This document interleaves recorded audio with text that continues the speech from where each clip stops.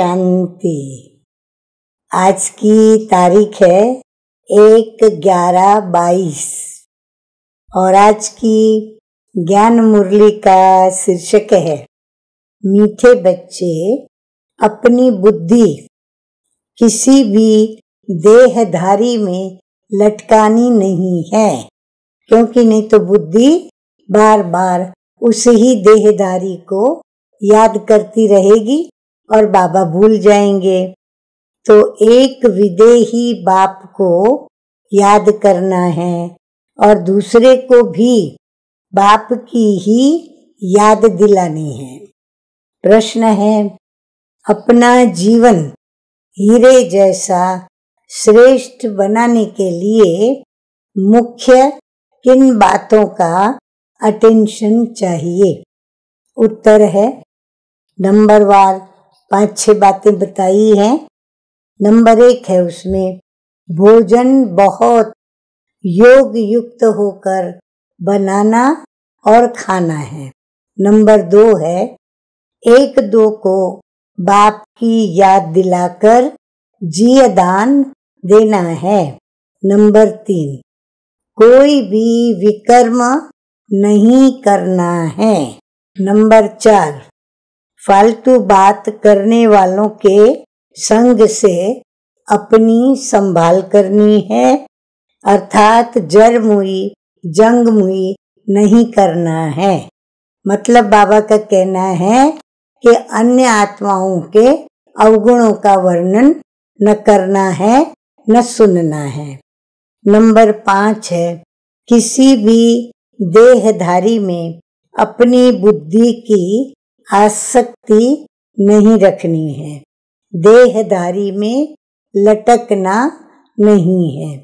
Number छ, कदम कदम पर अविनाशी सर्जन से राय लेते रहना है और अपनी बीमारी सर्जन से नहीं छिपानी है। नहीं तो दवाई ठीक नहीं मिलेगी तो हमें जल्दी सफ़ा भी नहीं मिलेगी।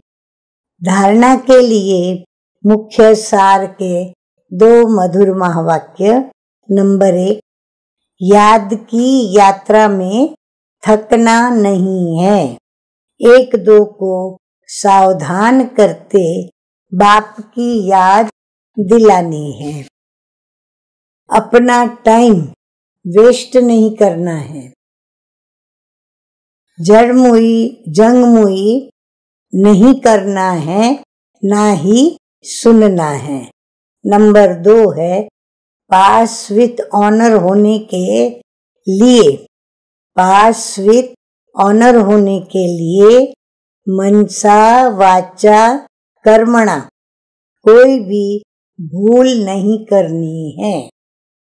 वरदान, सतगुरु शिव बाबा का दृढ़ संकल्प द्वारा असंभव को संभव कर। जब तक संकल्प में दृढ़ता नहीं आती, तब तक सफलता भी नहीं मिलती।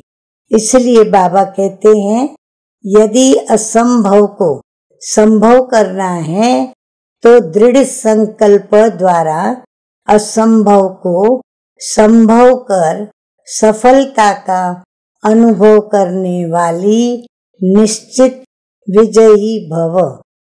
मीठे मीठे शिव बाबा कहते हैं कि संगम युग को विशेष वरदान है। असंभव को संभव करना। इसलिए कभी भी ये नहीं सोचो कि ये कैसे होगा। कैसे के बजाय सोचो कि ऐसे होगा। निश्चय रख कर चलो कि ये तो हुआ ही पड़ा है। सिर्फ़ प्रैक्टिकल में लाना है। उस तो रिपीट करना है। बाबा कहते हैं, प्रैक्टिकल में लाने को रिपीट करना है। अर्थात प्रैक्टिकल की अभ्यास बढ़ानी है। दृढ़ संकल्प को यूज़ करो। संकल्प में भी क्यों, क्योंकि हलचल न हो तो विजय निश्चित ही है। दृढ़ संकल्प यूज़ करना, अर्थात सहज सफलता को प्राप्त कर लेना। स्लोगन है, सदा करण करावन हार बाप की स्मृति में रहें तो भान और अभिमान। दोनों ही समाप्त हो जाएगा। अच्छा मीठे मीठे सिकिल दे बच्चों प्रति मात पिता बाप दादा का याद प्यार और गुड मॉर्निंग। रूहानी बाप की रूहानी बच्चों को नमस्ते।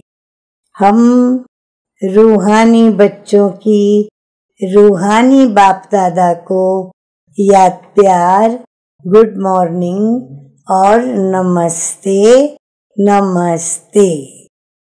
ओम शांति।